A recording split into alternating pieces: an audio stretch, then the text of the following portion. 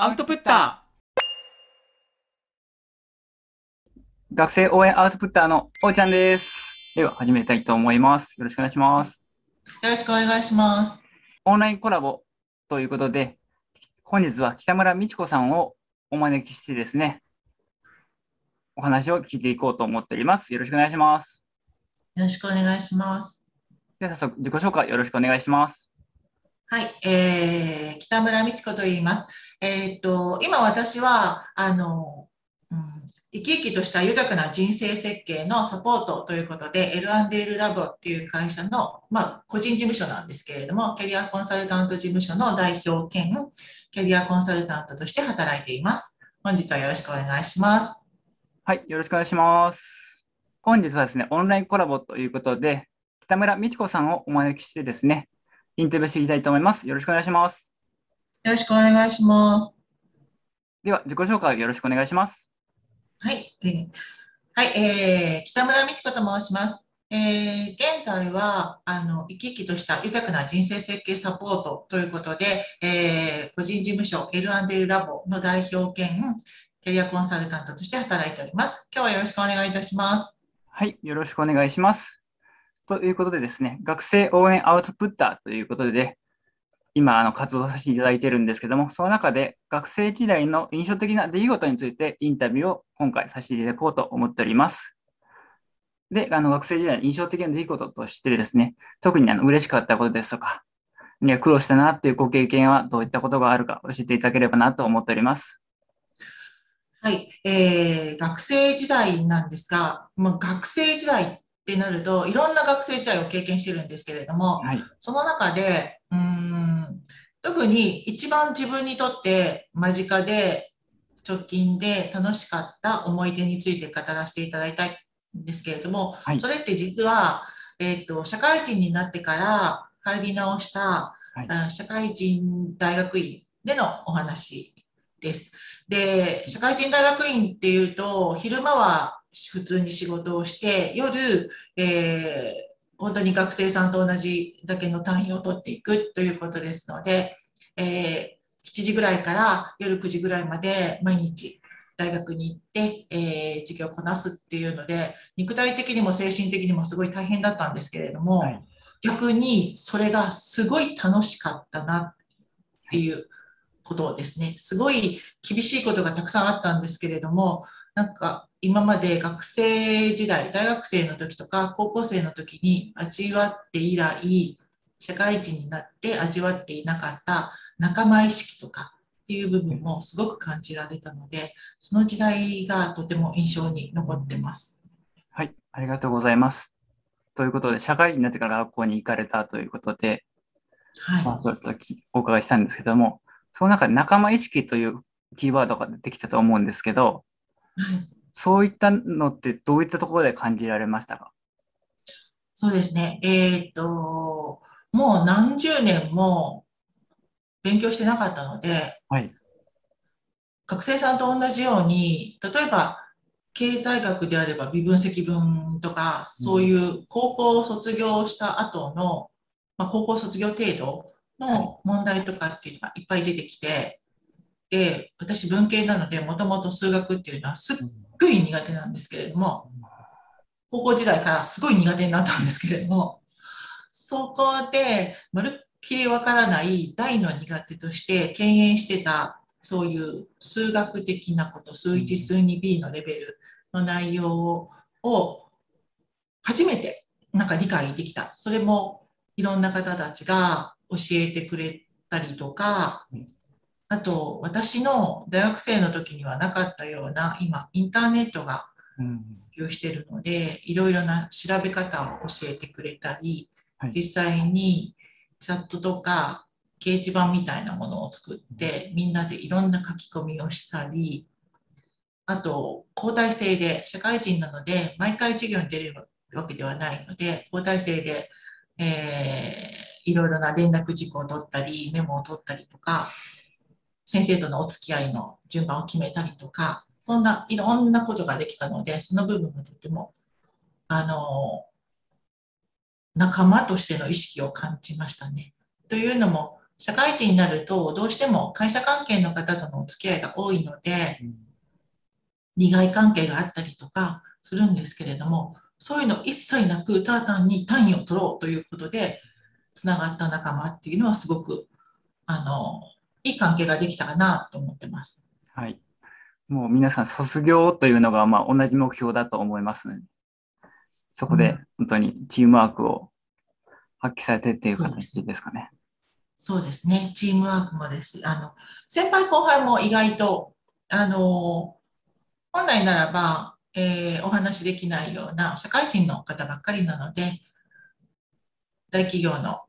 役員の方々とか、取締役の方とか、中小企業の社長さんとかっていう方とかも、もう同等でお話ができるとか、先輩後輩でお話ができるとか、っていうのはすごい面白かったですね。はい。まあ、同学年といいますか、同じところで学んでいる仲間というか、それその方々何人ぐらいいらっしゃったんですか？えー、っとですね、最初の頃は、うんと30人ぐらいいました。で、ただ卒業するときには半分以下になってました。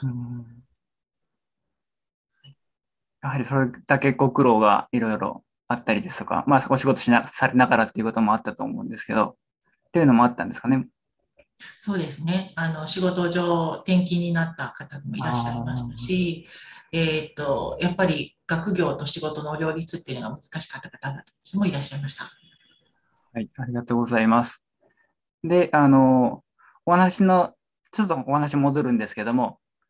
そのインターネットですとか、その IT といいますか、いろんなものを駆使されたということを言われてたと思うんですけど、やはり結構その、もう、あの、そのの学学校に通ったことによってその、そういったスキルとかもやっぱり上がっていきましたかね、活動する中で。そうですね。えー、っと、掲示板とかっていうの結構嫌だったんですね。で、自分からいろんなことを発信するっていうのもすごい嫌で。でも、その中に私が発信しなきゃいけない内容とかも当然出てくるので、そういうことで嫌だけどやらなきゃ、みんなのためにやらなきゃみたいなそういう部分では、だんだん慣れてはきましたね。じゃあもうそこでいろいろパワーアップされたところですね。はい。と、もう一つ、今の仕事にもすごい直結してるとは思うんですけれども、情報とか、あの、ネットからだけではなく、インターネットからだけではなく、人の情報っていうのの大切さっていうのもすごい知りましたね。やはりもうその発信することもそうですけど、受信することもありますもんね。そうですね。はい。で、その中で、まあ、どういうふうに発信していけば分かりやすく伝わるですとか、うんうん、あのこのこの方の表現があの上手にされてるのかなっていうのもいろいろあったりっていうのもそうですね。なんか真面目にはなあの発信される方と、ちょっとこうユーモアを交えて発信される方と、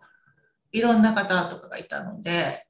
その方たちに合わせて自分もやらなきゃみたいな部分で、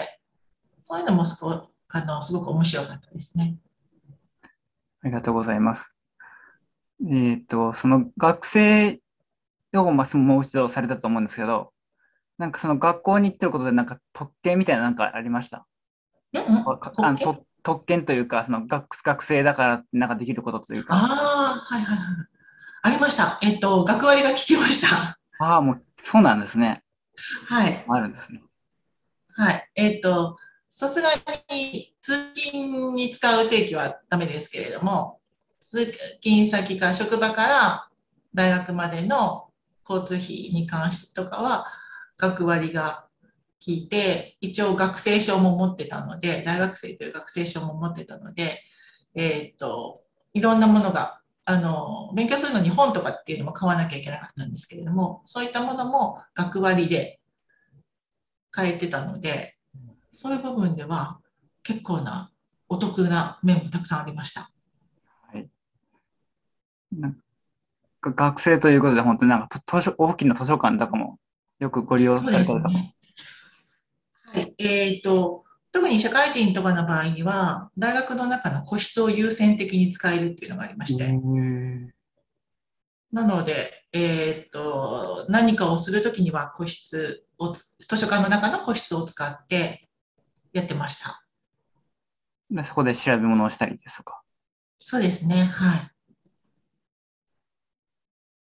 その、じゃあの授業ですとか以外にも、仲間同士で集まって、その解解決ですることとかはあります、討論することですとか？うーん。授業以外だと、もう社会人の方たちなので、結構飲み会が多かったですね。はい。そこで情報交換したりとか、あとは、その、今でもずっとつながってたりとか、今でも定期的に、今ちょっとこういう状況なので、もうかなり皆さんとはお会いできてないんですけれども、えーっと、未だに教えていただいてた先生、ゼミの先生とかがいろんな方を呼んで、今でもいろいろな交流はさせていただいてるので、それはすごい、あの、まあ、それも学生時代の特権かなとは思いますね。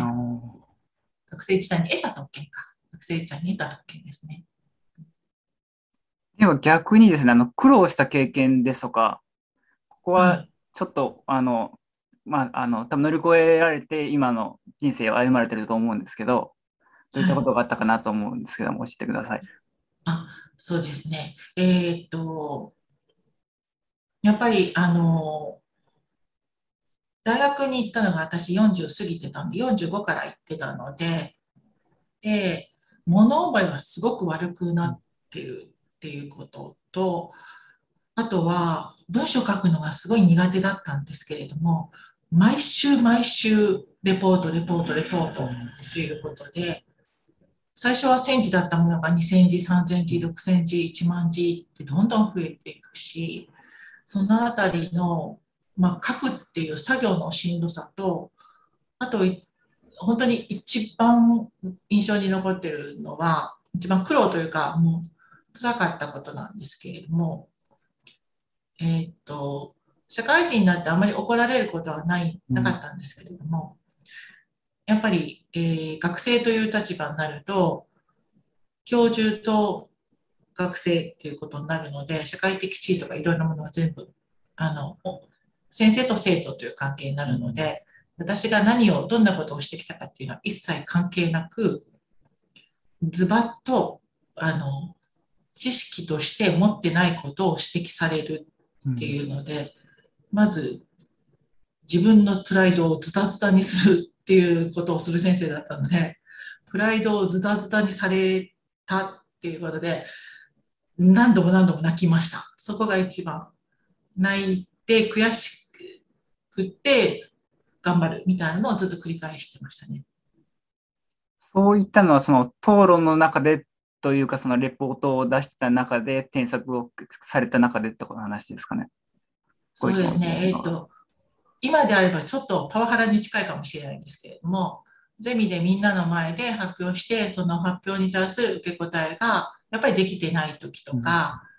ちょっとずれたりとか、勉強不足な面が分かると、みんなの前でズバッと言われますのでうん、そこはかなり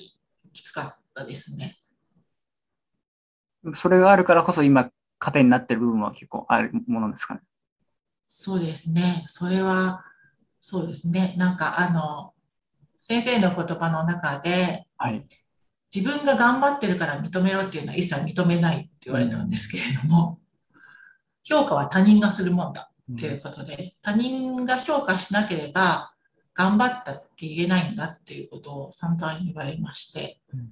で、私仕事上でもあの相談を受けてるときにたまにお伝えすることもあるんですけれども、頑張ったのは分かってる。でも評価は他人だから頑張ったことだけを伝えても伝わらないよっていうのはよく使ってますね。そういう言葉があったの、あった中で頑張れたっていうのは良かったかなとは思いますけど、でも本当にその言葉は毎回きつかったです。うんそうですね。もうどんな方にも当てはまる言葉だなと私聞いてて思いました。本当に。あの学生さんに関わらず、本当に社会人経験されてる方も、私自身も結構思うことがあるんです。刺さる言葉だなと思って 聞かせてもらってました。はい。でも、特に学生さんには、すごい皆さん頑張ってるんですけれども、その伝え方が間違ってたりとか、えっ、と、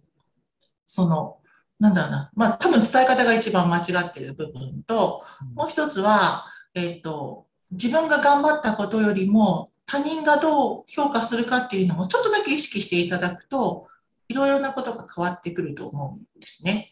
はい、就職活動なんかはそれが一番出るかなと思うので、ちょっとこの言葉を心に留めていただいて、就活とか、うん、えっ、と、社会人の方と会ってお話しするとかってしていただくと、すごく、あの、いいかなと思ってます。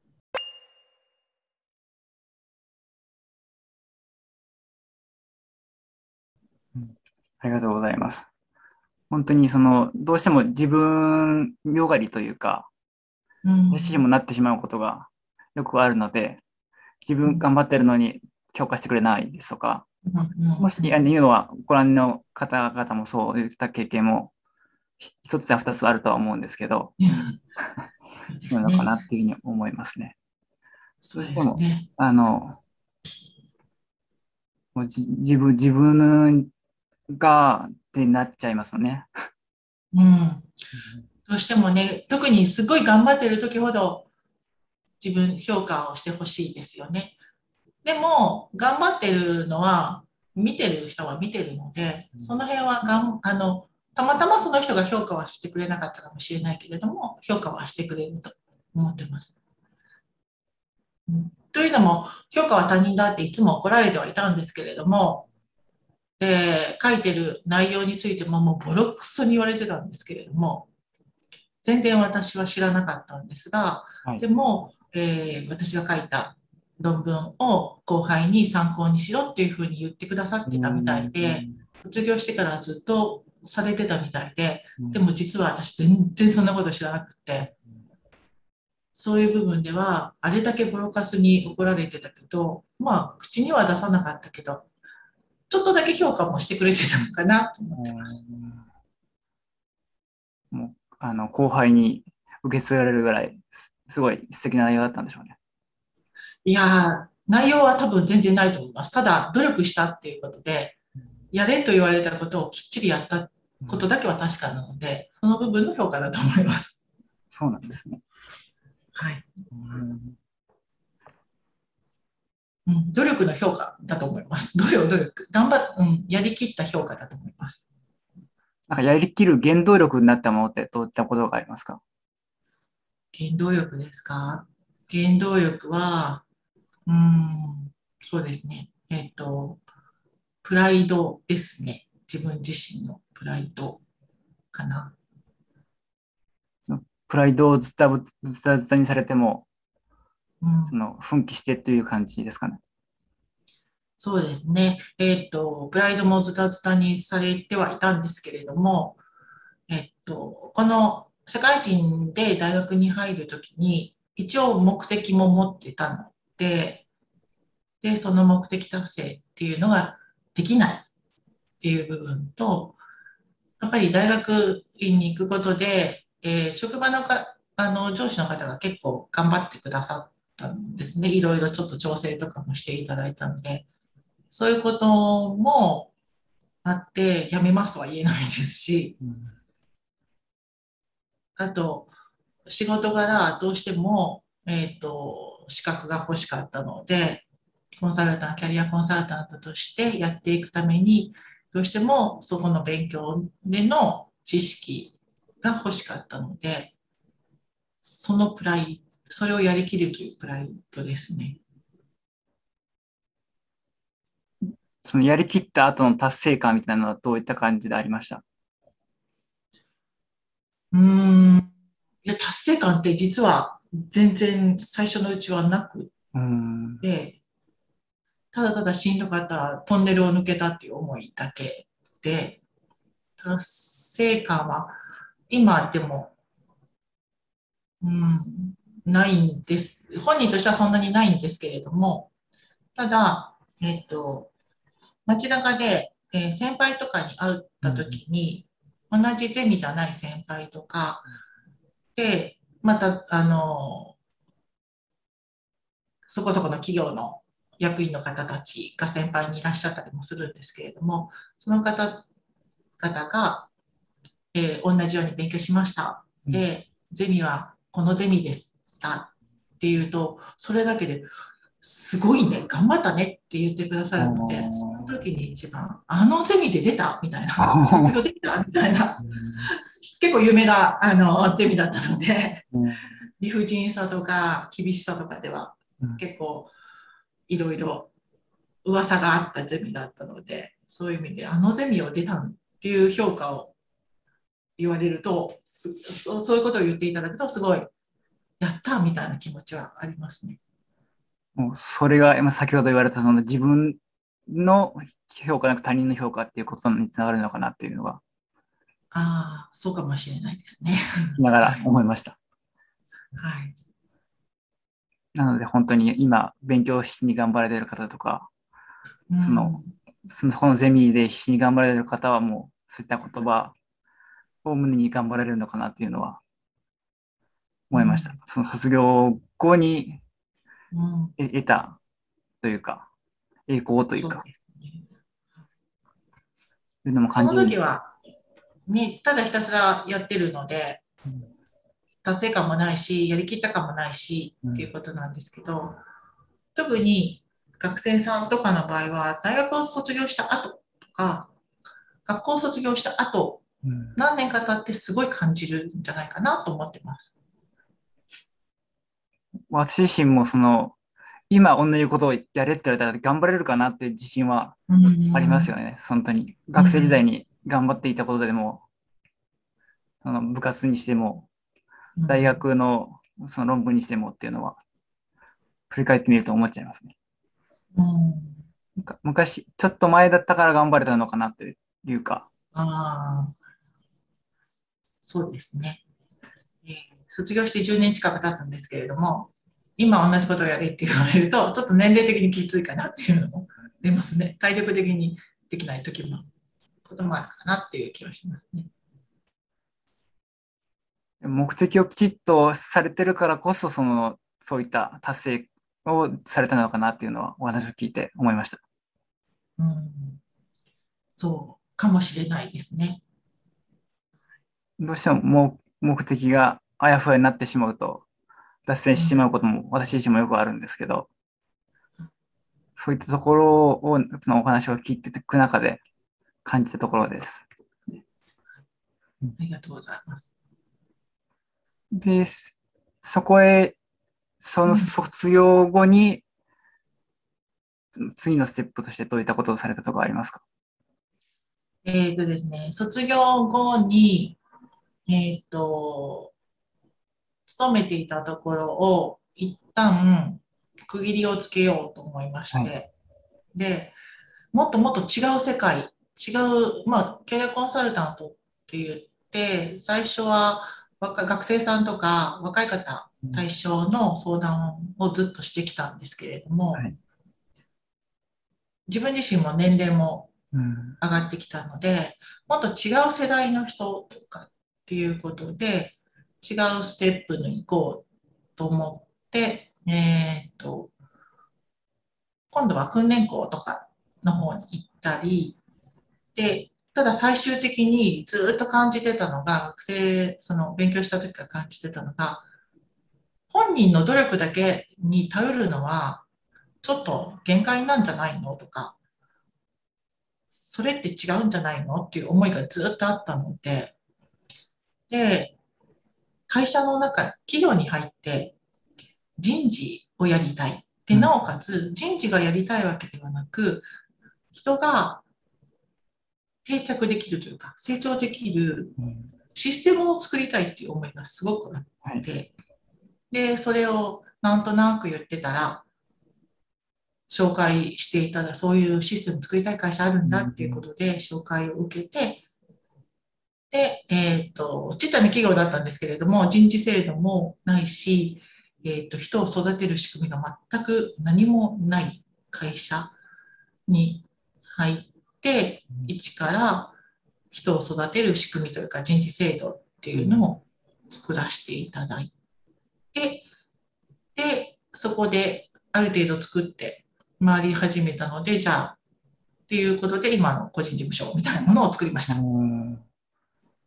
ステップアップしていくわけです。そその人事制度を作られて。そうですね。えっと、もう、それはあの社会人になって大学行くきっかけでもあったんですけれども、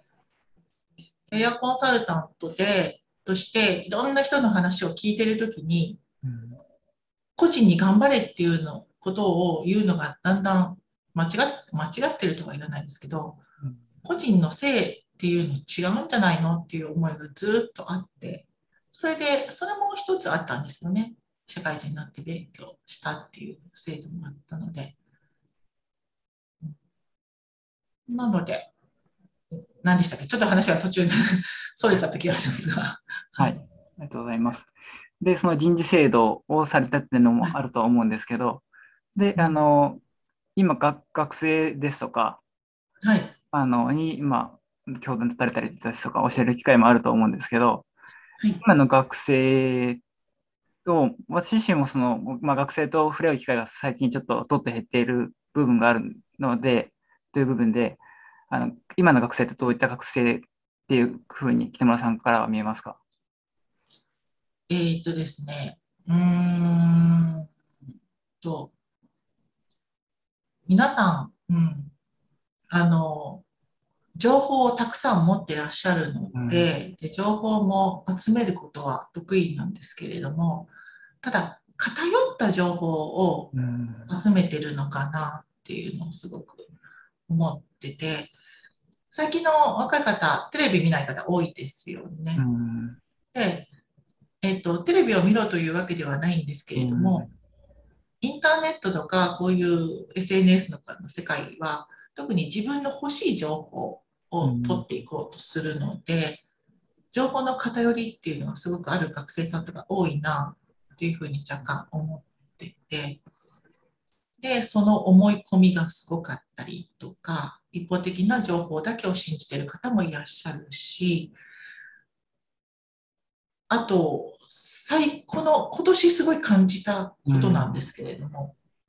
えっと、学生さんとかの、まあ私の場合は就職活動とかっていうことがメインにサポートさせてもらってるんですけど、就職活動でどうしても書く作業って出てくるうんんですよね、エントリーシートとか。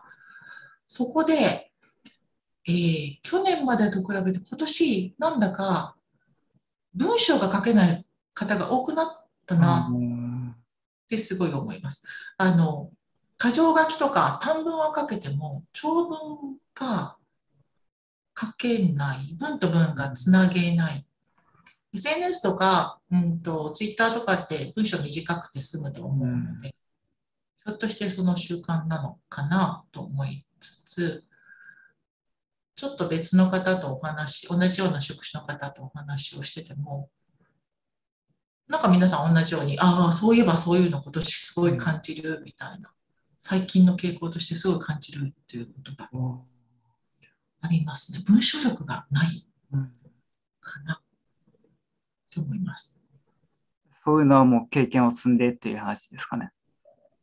そうですね。なんかあの、最近動画とかって多いじゃないですか。これもこう YouTube で実際お話をしているのを見ていただいてるんですけれども、動画の方が分かりやすいんですよね。動画とか。うん。なので、そういうもので見聞きしてっていう状態が多くなっているので、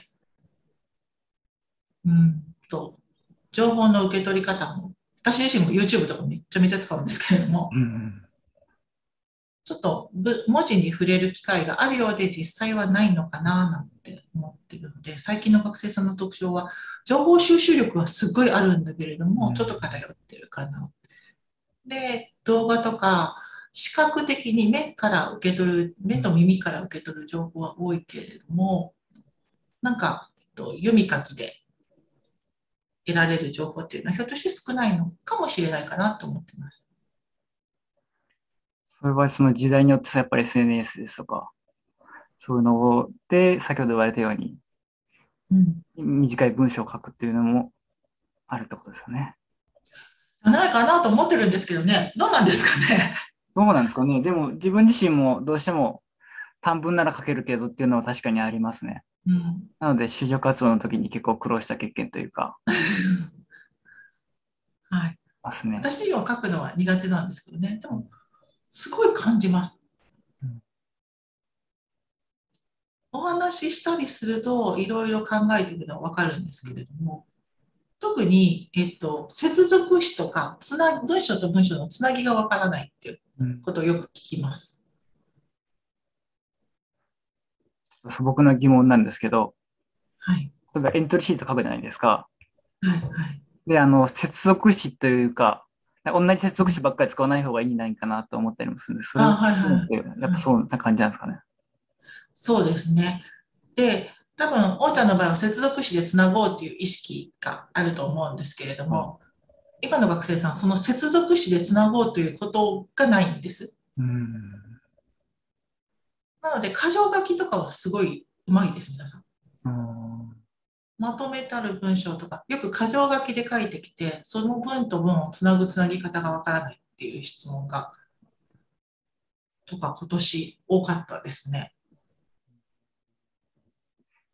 確かになんか、これ使ったからあんまりこの接続詞使うのもなと思ったり、で言いましょう変えてみたり、工夫はちょっとしてみたいこともあるんですけど、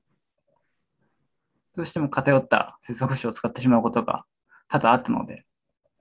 ちょっと素朴な疑問をしてみました。でも若干時代とともに、ちょっとその接続詞よりももう一歩後退しているかもしれないです。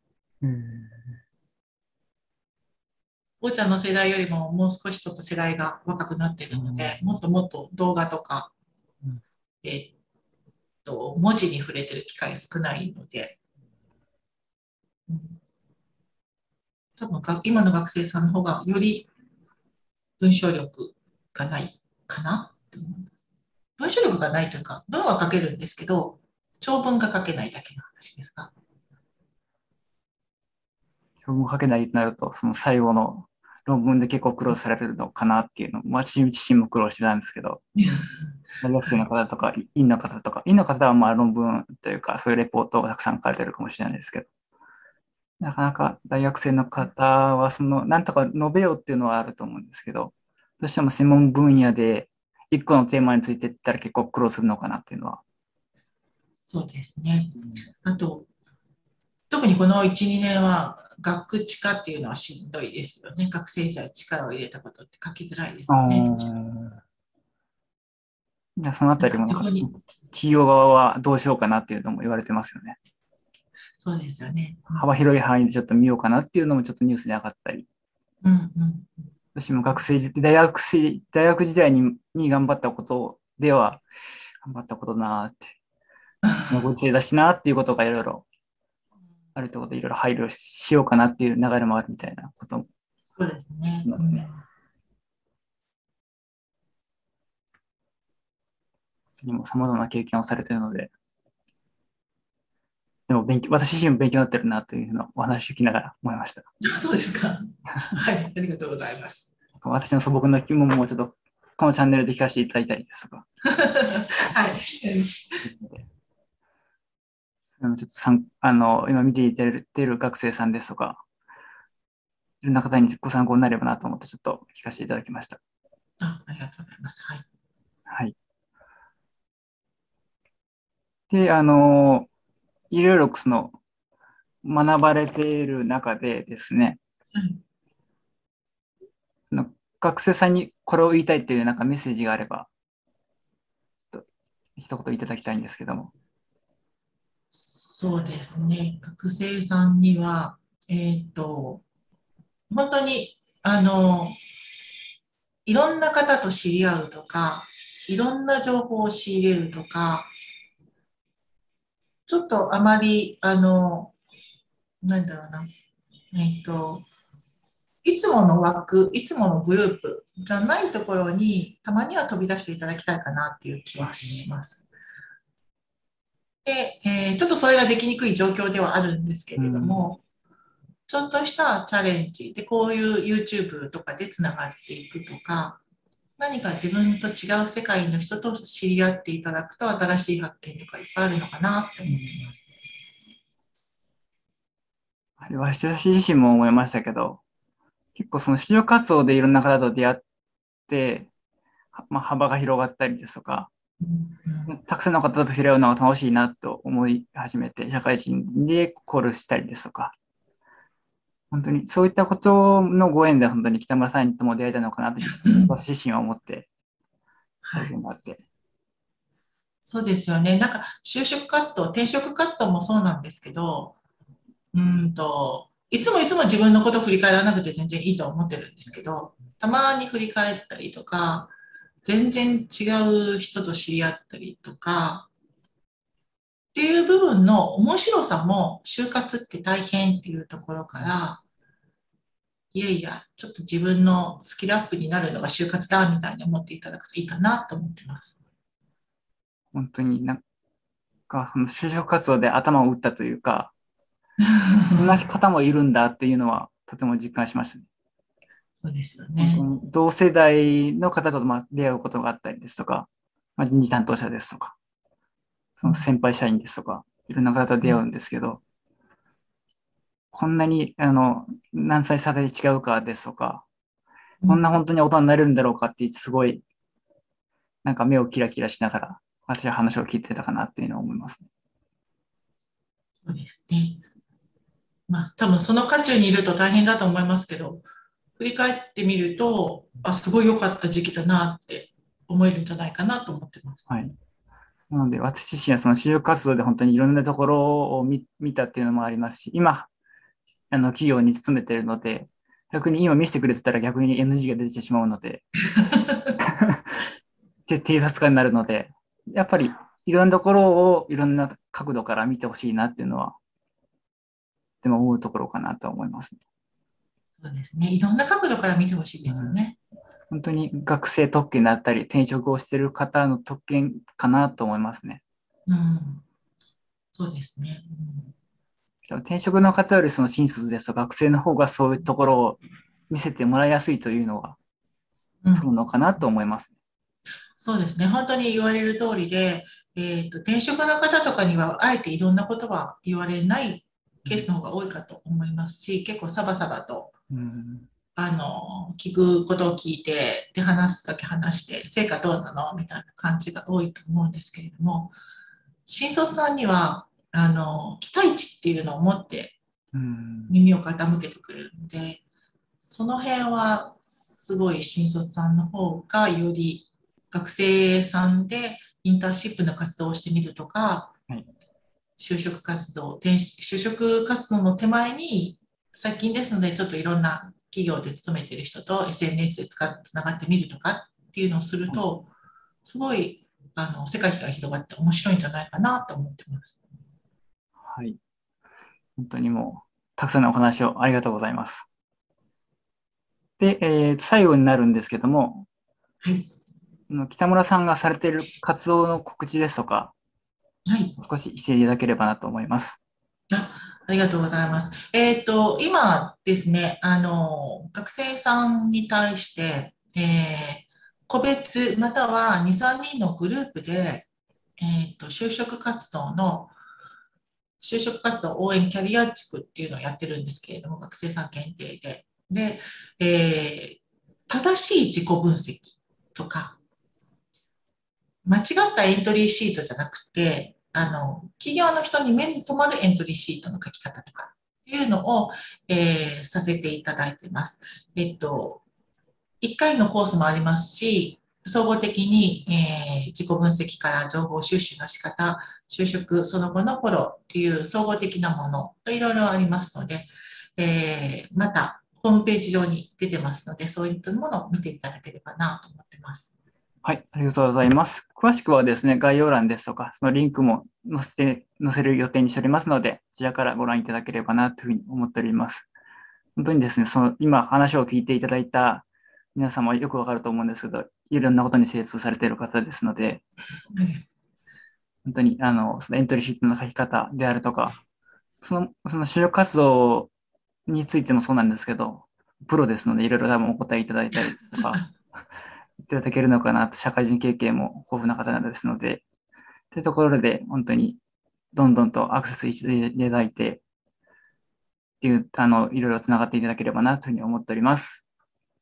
ということで、本日のインタビューをこれにて終わりにしたいと思います。北村さん、ありがとうございました。ありがとうございました。Go! アウトプッターこのチャンネルでは幸せになる考え方や生きるヒント、学生を応援するコラボ企画を行ったり、いろんな人の価値観に触れる中で一人一人が豊かな未来を実現していくことを目的として活動しています。ぜひあなたとも幸せの形を一緒に作っていきたいと思っていますので、チャンネル登録の方よろしくお願いします。